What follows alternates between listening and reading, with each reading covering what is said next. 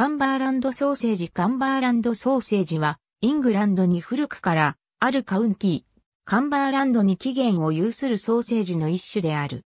伝統的に最高21インチと非常に長くて、平らなら線状に巻かれて売られているが、西カンブリアにおいては、長く曲げて売られることの方が多い。時には、普通のイギリスのソーセージのように短めに作られたり、パン粉で覆われたりすることもある。肉は豚肉で、調味料はいろいろなスパイスとハーブから作られる。リンカンシャーソーセージのようなよりハーブの風味の強い種類のソーセージとは対照的に一般的には胡椒の風味が強い。伝統的に着色料、または防腐剤が使われていない。特有の特徴は肉がひき肉にされているのではなく刻まれているためソーセージにゴロゴロした肉っぽい歯ごたえがもたらされているという点である。2011年3月に伝統的なカンバーランドソーセージは原産地名称保護制度の対象とされた。代表的なイギリス料理であるバンガーズマッシュを作るときによく用いられる。1950年代までほとんどの農場では豚が標準的な家畜とされており、多くの家庭では自家用の食料として豚が飼育されていた。長い時間のうちにカンブリアの涼しくて湿った気候にうまく合っている豚の品種が生まれた。これはカンバーランド豚として知られており、ソーセージの名前はそこから由来している。カンバーランド豚は、上向きの花と前方へ、だらりと垂れた耳のある、体重の重い豚であった。その肉は特有な品質と独特な風味があった。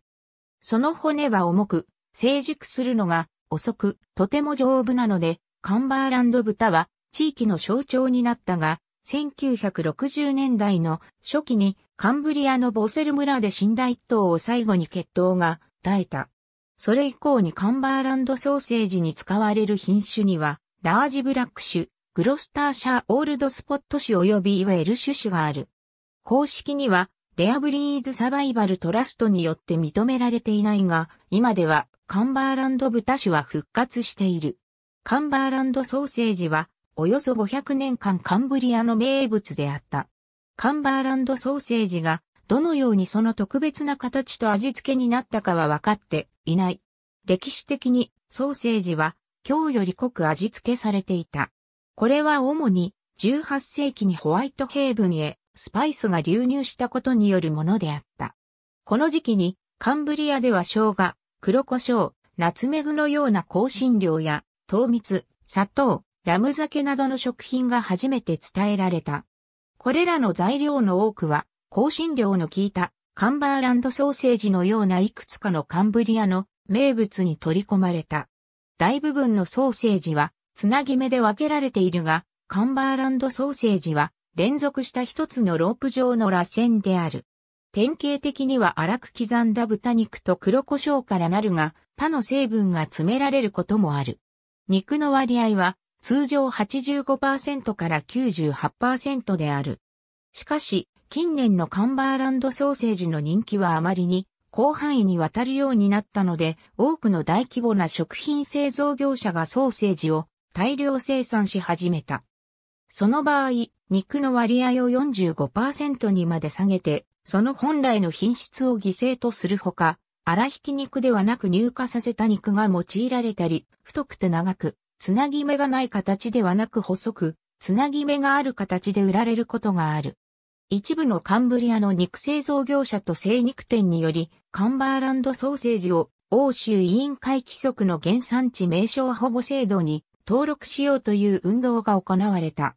これにより、パルマハムやフェタチーズに与えられているのと同じ保護が受けられるようになると見込まれていた。その協会は、カンバーランドソーセージの基準として、以下のものが含まれるべきと提案した。協会は、カンバーランドソーセージはカンブリアで作られなければならないと主張していた。